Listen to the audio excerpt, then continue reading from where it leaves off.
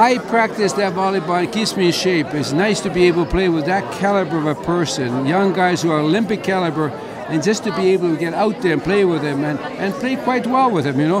That, and you know that's a measurement for my usefulness. If as long as I keep doing that, I don't break my limbs, etc. And I find myself even getting a little bit better, which is really interesting sign, you know. Yeah. Yeah. Well, I certainly appreciate that. So his name is Mark Takzak, and he um, he works at this place, Center for Neuroskills, which is the only place in the country that gets people walking and talking again. It's, I'm in medicine, medical business now. I'm just so overwhelmed about the medical business. We know so little about it, and there's so much to it. You know, I'm in the stem cell world.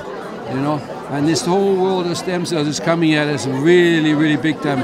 And the discoveries that are being made about any kind of disease. and Look at myself a thousand things that can go wrong with us. You know, and each one now has a stem cell solution to it. It's amazing. Which one are you most passionate about? Well, I'm, I'm most passionate really about the most powerful of stem cells, which is embryonic stem cell. That is the stem cell that we're born with. And I now have broken through, it's called SCNT, it was announced all over the news, and I broke through taking my old skin cell.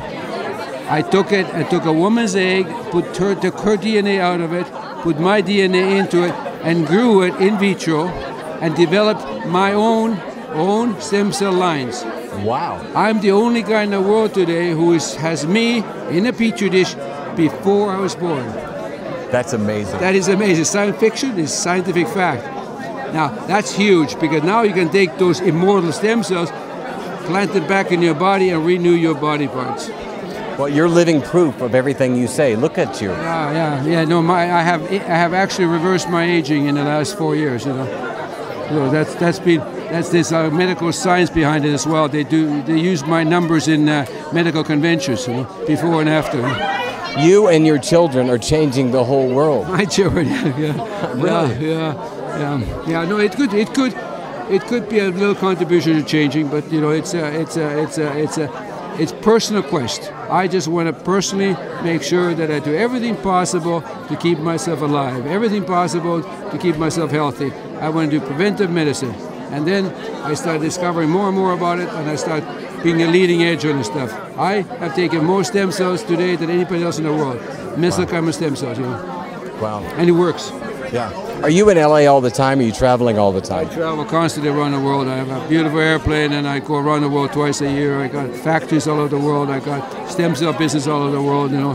So I'm in constant motion. And you help every woman to look thin. Every woman to look thin with my slims, especially, yeah. Exactly. That's what that pant is all about. That pant's all about making a body look slim. And that's what every woman wants, you know. It makes her slim and shapes her behind. How does somebody get behind this stem cell? You really, once you start looking at the internet and start looking at the word stem cell, it just opens up a whole new world to you, you know. The number one university in the world in stem cells in translational medicine is the University of Miami. The people that are here now. You get a chance to talk to some of the people here. Some of them are guys who are actually working for me or my associates, you know. I invited about 50 of them here. Great. Yeah. Is there any associate that you could refer me to to talk to about this later? Another uh, on another day. I got my own medical scientist. This is my chief scientific officer. Hello? She's Hello. The, she's Hi. the number one in stem cells in the world. It's amazing. So I just brought up a little bit Thank speed as what I was doing. She's responsible for my body. Nothing goes into my body without her approval. I like that. She's in charge of it. So you, you can talk to her about it more. Now Thank you so much. Her name Hi. is Jyoti. Josie? Uh, yeah, I'm Dr. Jyoti Devakumar. Okay. Hi. You look stunning. You're Thank a beautiful you. woman. Thank you. Now, I was telling him that uh, there's a guy that plays volleyball at his house sometimes who uh, saved my life. He's a physical therapist at the Center for Neuroskills in Encino, and uh, you know I'm seeing people. I was not, I wasn't walking two months ago, and I'm seeing other people like me that are going from not walking to walking, and it's been amazing, just the technology that nobody knows about. So, 10 years from now, every field of medicine would be affected by stem cells. There's not going to be a single field in medicine which will not, which wouldn't have adopted stem cells. So, I think that represents the future. And uh, so far, medicine treats symptoms of the disease. Now, with stem cells, we'll be able to treat the root cause of the disease and cure disease again, as against just maintain the disease state.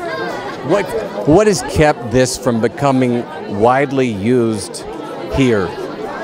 Any new technology goes through a phase of criticism, lot of rejection, and finally acceptance.